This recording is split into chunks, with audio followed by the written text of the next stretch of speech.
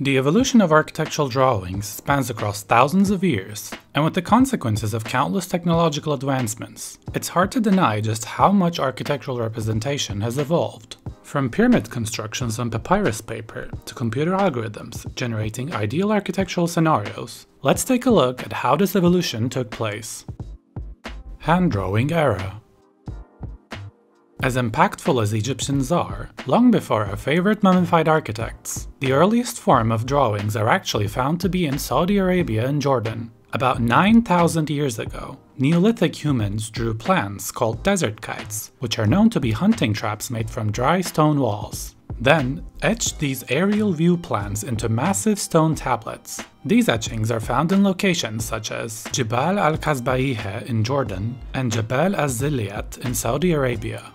A mere 6,000 years and many uncovered lost artifacts and destroyed civilizations later, the era of hand drawing continued to prove itself through many material forms. These contexts include papyrus paper, wax tablets, and parchment paper. The first architectural drawing on papyrus paper was the plan of the tomb Amenemhat II, which provided a detailed layout of the royal tomb complex. After all, the Egyptians believed the most significant thing you could do in your life was die. I digress. Hand-drawn architectural drawings continued to significantly develop during the Middle Ages with the common usage of parchment paper. And the earliest known architectural drawing on parchment paper was the plan of St. Gall Monastery in Switzerland, which also includes probably the most stunning library you'll ever see. Although the plan of St. Gall may not be the absolute earliest example, it is one of the most well-preserved architectural drawings on parchment paper. Moreover, parchment paper continued to slay for several centuries due to its durability for detailed work, but started declining after the increasing usage of paper.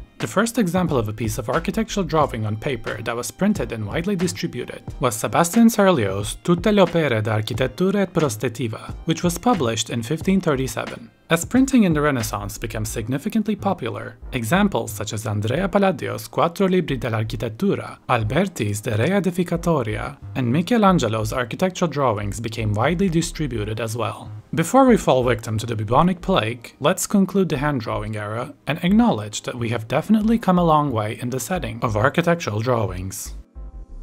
Pre-CAD era the process of hand drawing becomes a bit more standardized when Alois Senefelder invents lithography in 1796, just before the Industrial Revolution. In lithography, artists draw with greasy materials on a stone, chemically treat it to separate the water from the ink, apply ink again to the whole of the stone, and then press paper onto it, attracting the inks with each other to create detailed prints. Notable architectural lithographies in the 19th century include architectural studies of Sir John Soanes and the Normandy villas by Pierre Chabat. Considering the amount of labor that went to creating these masterpieces, they are definitely pieces that deserve the admiration. Moving forward, the pre-CAD era continued to expand in the 20th century with materials such as graph, tracing, and blueprint paper, along with mylar and vellum. The biggest difference between pre-CAD and post-CAD era is that architects used tools like drawing boards, pencils, erasers, and T-squares instead of computers. However, this also meant that there was no margin for error, no chance of returning after the drawing is put on paper, and probably also destroyed the poor architect's postures. So, in other words, not a lot has changed since then. Well, at least not until CAD arrived. Post-CAD era the revolutionary context of CAD, aka computer-aided design, simply changed the game. In 1961, Dr. Patrick Hanratty, who's regarded as the father of CAD, developed the software DAC, Design Automated by Computer, under the company General Motor Research Laboratories. DAC was the first CAD system to use interactive graphics and was useful in the auto industry for designing molds, but sadly, the company discarded the system because of its obsoleteness. Hanratty claims that 70% of all 3D CAD systems available today trace their roots back to his original code. Hats off to Hanratty. Later, in 1963, Ivan Sutherland was busy developing Sketchpad, the first ever graphic user interface with an XY pointer display, which allowed users to draw objects. Sketchpad is still considered a major breakthrough in the development of computer graphics and the interaction between humans and computer. Moving on, the evolution of CAD continued with programs such as CADD by Aerospace Manufacturing Corporation McDonnell Douglas, PDGS, an internally developed CAD system By Ford, and DigiGraphics by ITEK, which was a system sold for the cheap price of $500,000. Breaking free from the boring norms of two-dimensional systems, in 1972, Synthavision was developed by McGee, while technically not a CAD program, it was recognized as being one of the earliest 3D visualization programs, creating complex 3D visual effects and animations for movies, such as Star Trek and Tron.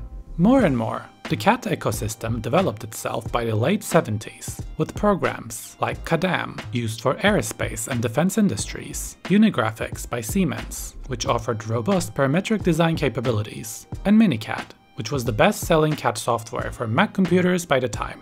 Finally, the moment we've all been waiting for, AutoCAD was released in 1982 by Autodesk. It became, and still is, one of the most widely used CAD programs, setting the standard for CAD software and offering low-cost accessibility for a broad range of users. The era post-AutoCAD offers many more programs, such as Pro Engineer, SolidWorks 95, CATIA, and more. Yet later, in 1996, 3D Studio Max was released by Autodesk, which was and still is widely used for modeling and animation. And finally, Rhino, which was released in 1998 by Robert McNeel and Associates. Rhino introduced NURBS modeling tools that were significant for complex computational design tasks, and to this day protects its relevance and industry. Other significant software include Revit, which was released by Autodesk in the year 2000, and is one of the most widely used BIM software that also supported parametric design. The list goes on, but for the sake of this video, let's take a look at our next era.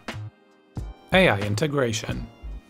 Love it or hate it, it's here, and it's here to stay. In the recent years, AI has significantly impacted architectural practices, yet its integration into the architectural practices did not happen overnight. We can't start explaining the impact of AI in architecture without mentioning one of the most significant generative design tools, which is Grasshopper for Rhino, released in 2007. Although not an AI tool on its own, Grasshopper set the basis for generative design. The plugin allowed for parametric design capabilities and profoundly influenced architectural design. The integration of AI into the industry became more widely available after the late 2010s, with tools including Finch, Maket, Midjourney, and more. But at this point, the advancement of architectural drawings have progressed so much that it becomes rather a controversial topic. As beneficial as AI can be, it is inevitably inclined to be repetitive and inaccurate. A big question mark here is what happens when the creation process of such a human-centered creative field is left in the hands of a computer-generated algorithms. AI will never stop evolving, just like humans, yet its consequences on the context of architectural drawings seems to be positive so far. Thank you so much for watching and before we end, I want to spotlight PAACADEMY, an online architectural educational platform that spreads the idea of using parametric design, computational tools, and artificial intelligence in architecture. You can register and join the live workshops, or watch the previous studio workshop recordings. Thank you for watching and don't forget to subscribe to our channel and hit the bell notifications to keep up with the new episodes. See you at the next episode!